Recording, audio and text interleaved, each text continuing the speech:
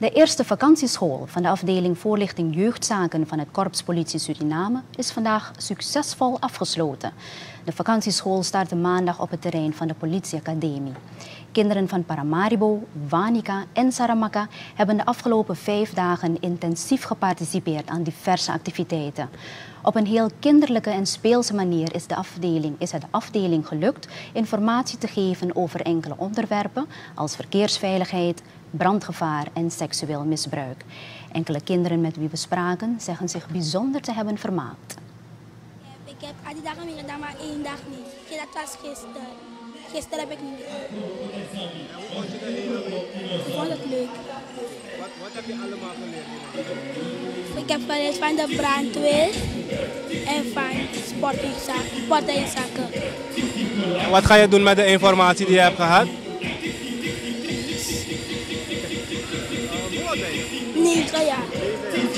Van welke school ben je? Belangrijk Ik vond het leuk omdat we veel dingen hadden gedaan. Dus we hebben, we hebben gegeten, we hebben gezongen, we waren daar gegaan in de zaal. Ja. We hebben gaan spelen daar zo, in het sport doen, volleybal. Ja.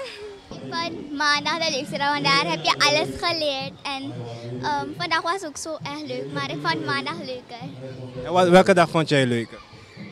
Vandaag, we gingen in dingen gaan. Lokaal, daar gingen ze drum slaan, gitaar. En nu spelen we spelletjes. Het hoofd van de afdeling voorlichting jeugdzaken, Milton Bisschop, is blij dat de vakantieschool vlekkeloos is verlopen. Hij is er voorstander van dat deze school wordt voortgezet. In ieder geval is de boodschap duidelijk. Dat is belangrijk. De rode draad dat de mensen voorzien zijn van informatie. We hebben de informatie overgebracht, komisch misschien, middels educatie en sport. Maar belangrijk, de rode draad is dat we de mensen weerbaar hebben gemaakt.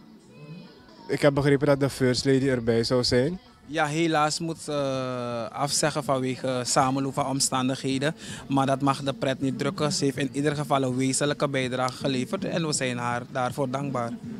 Als ik zo hoor dat alles uh, goed is afgelopen de afgelopen dagen tot vandaag is vrij vlot verlopen. Dat we zeggen dat de vakantieschool voortgezet wordt. In ieder geval was het een pilotproject. Uh, dat is de hamvraag nu als het wordt voortgezet. Maar uh, het zit erin dat het voortgezet kan worden. Of het kan worden voortgezet natuurlijk met goedkeuring van de korpsleiding, de dienstleiding. Dat is buiten mijn competentie om. Maar als u mij vraagt, uh, zit de meerwaarde erin om, het, om die vakantieschool voor te zetten. Milton Bisschop, hoofd van de afdeling voorlichting jeugdzaken, over de vakantieschool van het Korps Politie Suriname. De school is maandag begonnen en vandaag succesvol afgesloten.